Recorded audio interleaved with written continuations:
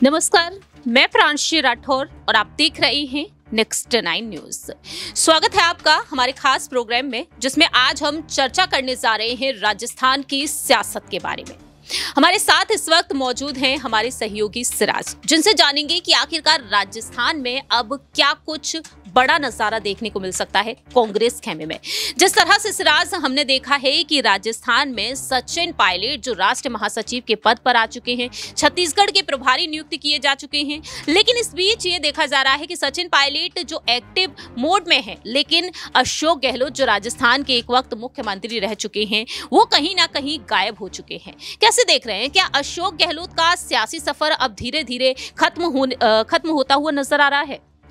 जी देखिए, मुझे नहीं लगता कि उनका सियासी सफ़र जो है ख़त्म होता नज़र आ रहा है, क्योंकि भले ही कांग्रेस उन्हें नज़रअंदाज कर रही है, लेकिन कांग्रेस को इस बात को बखूबी समझना होगा कि जो किसी राज्य का मुख्यमंत्री रह चुका है और उसे आप एकदम से साइडलाइन करते हैं तो ये कहीं ना कहीं कांग्रेस के लिए एक बड़ा झटका हो सकता है। क्योंकि जिस तरीके से हमने देखा कि वसुंधरा राजे और शिवराज सिंह चौहान को बीजेपी ने साइडलाइन कर दिया, लेकिन इसके बावजूद भी आला कमान से उन्हें फ़ोन जाता है और उनसे बातचीत की जाती है, उनसे राय मशवरा लिया जाता है और फिर अब शिवराज सिंह चौहान को लोकसभा चुनाव में भी उतारा जा रहा है। तो ये कमी कहीं ना कहीं बीजेपी में ज़रूर है कि आज अच्छी बात है, अगर आप किसी और नेता को मौका देना चाहते हैं, युवा को आगे बढ़ाना चाहते हैं तो ये सही बात है। लेकिन वहीं दूसरी तरफ़ अगर आप बड़े दिग्गजों को साइडलाइन करते हैं, जैसे कमलनाथ को लेकर अभी चर्चाएँ हो रही थी, वो भी बीजेपी की तलाश में थे, लेकिन कहीं ना कहीं राहुल गांधी का फ़ोन जाता है, उनसे बातचीत होती है, और फिर कमलनाथ कहीं ना कहीं अपने फैसले पर जो है कह सकते हैं ठहरते नहीं हैं, और कहीं ना कहीं वो कांग्रेस में ही रह जाते हैं। और फिर देखें कि किस तरीके से अशोक गहलोत को कांग्रेस लगातार नज़रअंदाज कर रही है। लेकिन इतने बड़े पद पे रहने के बाद भी अगर उनको नज़रअंदाज किया जाता है तो निश्चित तौर पर ये कांग्रेस के लिए बड़ा झटका होगा और यही वो बड़ी वजह है कि कांग्रेस अब बड़े बड़े नेता जो है, वो दामन छुड़ा रहे हैं। लेकिन सिराज, जो हाल ही में खबरें सामने आ रही हैं, अब कांग्रेस की एक अहम बैठक होगी, सीईसी की बैठक होगी और इसमें यहाँ पर सचिन पायलट का नाम लगभग तय बताया जा रहा है कि टॉक सवाई माधोपुर से वह चुनाव लड़ते हुए नज़र आएँगे। अशोक गहलोत के बेटे जो है, वैभव गहलोत, उन्हें टिकट दिया जा सकता है जैसलमेर लोकसभा सीट से, जो परंपरागत सीट मानी जाती है गहलोत साहब के लिए। देखा गया है कि तीन बार मुख्यमंत्री रहे, पाँच बार सांसद रह चुके हैं। और अब यहाँ पर अशोक गहलोत को लेकर ये कहा जा रहा है कि शायद ही उन्हें टिकट मिले। सचिन पायलट को एक बार फिर से राजस्थान की सियासत से दूर भेजने की प्लानिंग चल रही है, लेकिन अशोक गहलोत को राजस्थान तक ही कहीं ना कहीं सीमित रखा जा रहा है। पहले कहा जा रहा था कि लोकसभा टिकट मिलेगा, अब कहा जा रहा है कि उनके बेटे को दिया जाएगा। कैसे देख रहे हैं? क्या वाकई में अब यहाँ पर आने वाले समय में गहलोत के बेटे को तो आगे किया जाएगा, पायलट को आगे किया जा रहा है। लेकिन यहाँ पर अशोक गहलोत से जो नाराज़गी एक वक्त राहुल गांधी की बताई गई कि अशोक गहलोत की रणनीतियों पर हमने राजस्थान के चुनाव लड़े, पायलट की रणनीतियों पर नहीं, इस वजह से हम हार गए। तो क्या वो हार का ठीकरा इस तरीके से अब फूटता हुआ नज़र आ रहा है?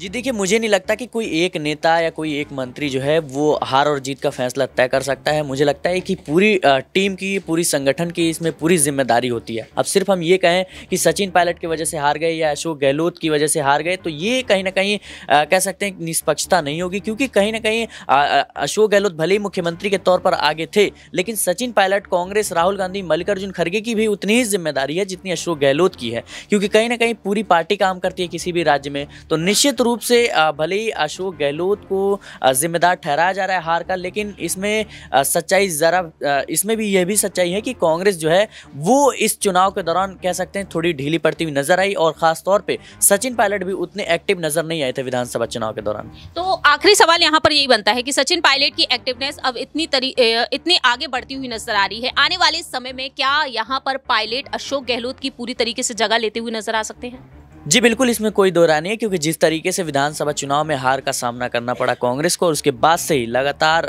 जो है सचिन पायलट आगे दिख रहे हैं, चाहे हम बात करें जमीनी स्तर पर या चाहे राजनीतिक राजनीतिक स्तर पर तो लगातार सचिन पायलट जो है अब कहीं ना कहीं एक्टिव नज़र आ रहे हैं। तो निश्चित तौर पर और अशोक गहलोत पहले जितने कह सकते हैं वार्ता करते थे, अब वो उनकी भूमिका नज़र नहीं आ रही, और कह सकते हैं कि अब वो धीरे धीरे साइडलाइन हो रहे हैं। तो निश्चित तौर पर कांग्रेस जो है वो सचिन पायलट को एक युवा चेहरे के तौर पर आगे करना चाहती है। वाकई में अब आने वाले समय में यही देखना होगा कि अशोक गहलोत क्या वाकई में साइडलाइन कर दिए जाएँगे। यहाँ पर आपको बयान भी सुना देते हैं कि सचिन पायलट किस तरीके से मोदी सरकार को चुनौती देने में जरा सा भी पीछे नहीं हट रहे हैं और कहीं ना कहीं पायलट की यही एक्टिवनेस आलाकमान को काफ़ी ज़्यादा पसंद भी आ रही है। सुनिए सर क्यों जानते हैं? आज प्रधानमंत्री जी पचास देशों में घूम कर आए हैं। उनका मान सम्मान क्यों होता है? क्योंकि 140 करोड़ देश के एकजुटता से साथ खड़े हुए हैं। हमारी संवैधानिक संस्थाएँ मज़बूत हैं, हमारे आसपास के मुल्कों में देख लो क्या हाल है।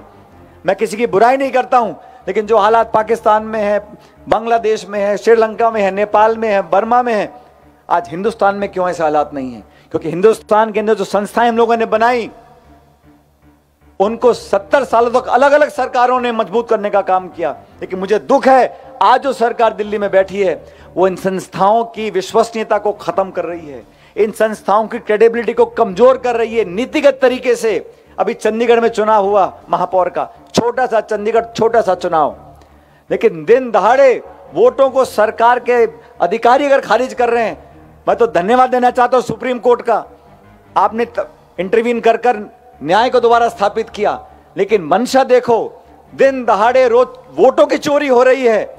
हमारा निर्वाचन आयोग, हमारी ब्यूरोक्रेसी हमारी जुडिशरी अगर इन पर विश्वसनीयता खत्म हो जाएगी, साथियों, आज सुप्रीम कोर्ट देश का है। सुप्रीम कोर्ट का कोई भी ऑर्डर आता है, हम सब उसको क्यों मानते हैं? सुप्रीम कोर्ट का जज भी इंसान ही है। लेकिन एक सुप्रीम कोर्ट की मान्यता है कि अगर सुप्रीम कोर्ट ने कुछ कह दिया तो सबको सारी पार्टी उसको स्वीकार करती हैं। आज अयोध्या में राम मंदिर का निर्माण हुआ। तो सुप्रीम कोर्ट ने कहा कि मंदिर बनना चाहिए। हमने स्वीकार किया, सुप्रीम कोर्ट ने कहा, हमें खुशी हुई, हमारा मंदिर बन रहा है। लेकिन ये अगर कोर्ट्स की, इलेक्शन कमीशन की सारी संस्थाओं की विश्वसनीयता को, पारदर्शिता को क्रेडिबिलिटी को जानबूझ के खत्म करेंगे सत्ता में बैठे लोग हैं तो लोगों का विश्वास उठ जाएगा। और इस देश में, जमहूरियत में, लोकतंत्र में सबसे बड़ी बात विश्वास होती है। अगर विश्वास नहीं है तो पेटी में बटन दबाने का कोई मतलब नहीं है। इन सब बातों पे हमें सोचना पड़ेगा नौजवानों को खासकर।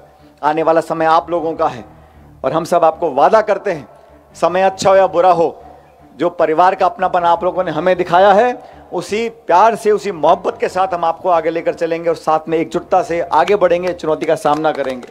आज राहुल गांधी जी यात्रा कर रहे हैं।